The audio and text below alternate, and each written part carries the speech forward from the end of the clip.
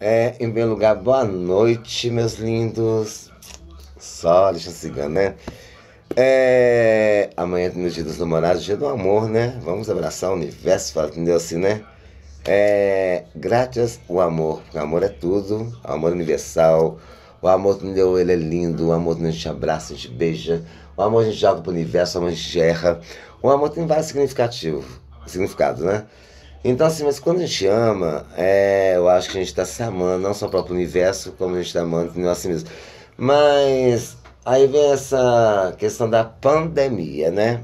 É, gente, deixa eu falar uma coisa. Todo dia morre alguém.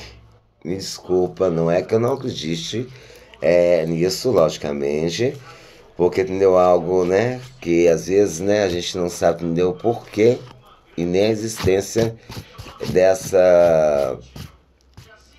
desse, né? Esse fantasma, é um fantasma, né? Que ninguém até hoje, né? Trouxe o segmento que entendeu, não é uma cor, porque, né? E tudo. Só sei que assim, que eu parabenizo muito, né? As pessoas que da área da saúde. Eu, como pessoa esotericamente, bastante esotérico, neto de uma menina do Gantuá, graças a Deus, Salvador Bahia. Pelos meus jogos, pelo meu tarô, tá certo, entendeu? Que a gente vai ter uma solução. Só para o seguinte, gente, é é o meu modo de enxergar e de interpretar e para colocar para vocês, porque entendeu? São pessoas, entendeu? Não é que sou Deus, mas eu tento ser entendeu? uma pessoa, entendeu? Assim, rapidinho, rapidinho, rapidinho. É, teve isso. A minha conclusão é: tenha fé, tenha força, tenha luz. É, eu acredito, entendeu? Eu que morto, entendeu? Todo dia alguém. Seja novo, seja velho, seja qualquer sentido. Então, assim, mas vamos avaliar uma coisa só gostosa é, para a gente vencer essa, esse fantasma. Vamos crer mais em Senhor Jesus.